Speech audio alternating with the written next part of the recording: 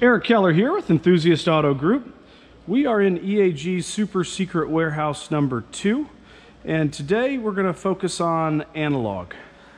This building is full of analog, and these analog cars are what many of us, most of us, nearly all of us have fallen in love with over the years and, and what has drawn so many enthusiasts to the brand. And while there's no shortage of cars in this room we could pick to, to highlight what analog feels like, drives like, smells like, sounds like. Uh, today I wanted to focus on the E39 M5. It is a staple of our inventory and has been uh, since they were new cars. And these E39 M5s really are the end of that M5 era of analog for, for many of us enthusiasts.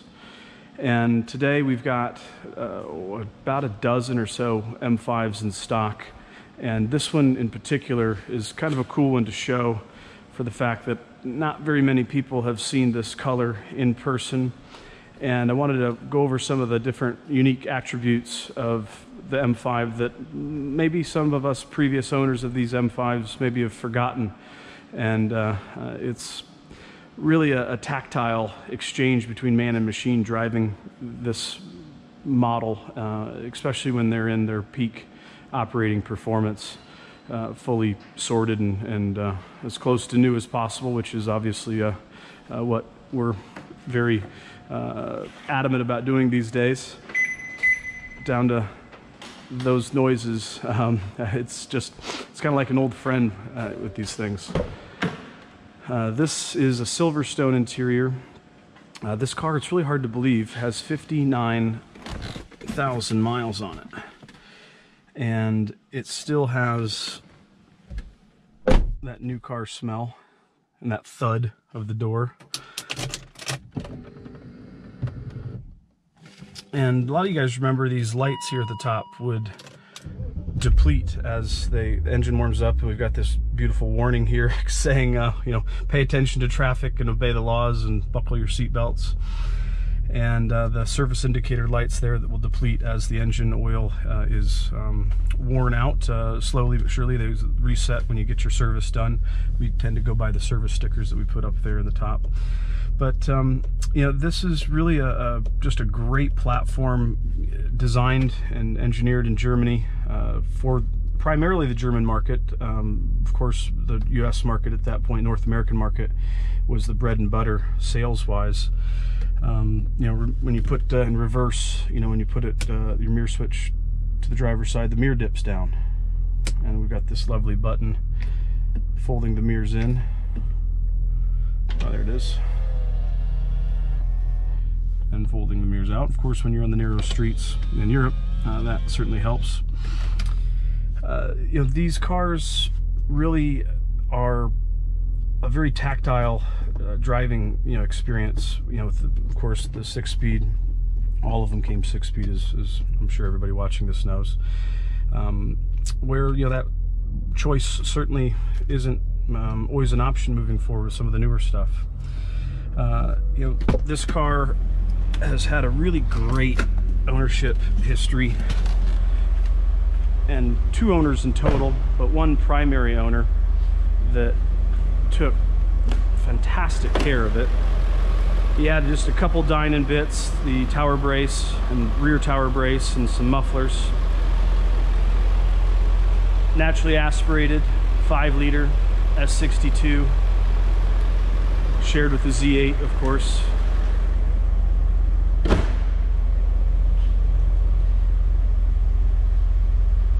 I mean, driving this car is really a, a, it's it's it's a reward really. I mean it's it's a treat. We've got everything on the car back to new. Both the window stickers of course the vhs and the uh, navigation the original wood shift knob cd both the window stickers there. This is an m audio car. And uh, you know what? Let's uh, say goodbye to all of these cars and head out.